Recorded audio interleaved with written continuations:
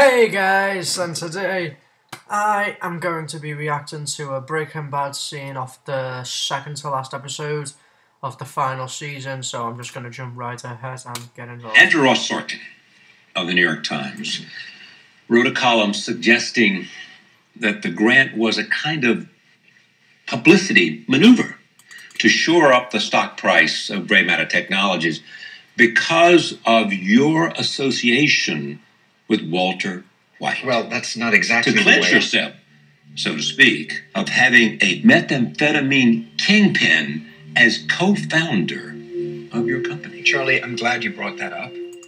I have to believe that the, the investing public understands we're talking about a person who, who was there early on, but who had virtually nothing to do with the creation of the company and still less to do with growing it into what it is today. So, what was Walter White's contribution?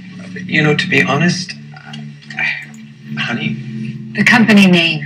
the company name. We, we came up with it by combining our names. Uh, Schwartz means black, black plus white makes gray. Hence, Gray Matter Technologies. Exactly. As far as I can recall, his contribution begins and ends right there. There are continued reports of blue methamphetamine considered his signature product throughout the Southwest, and some evidence of reaching as far as Europe.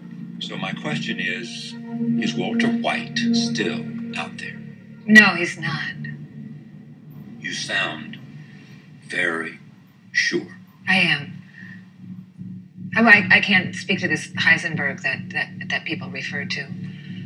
But whatever whatever he became, the, the sweet, kind, brilliant man that we once knew long ago, he's gone.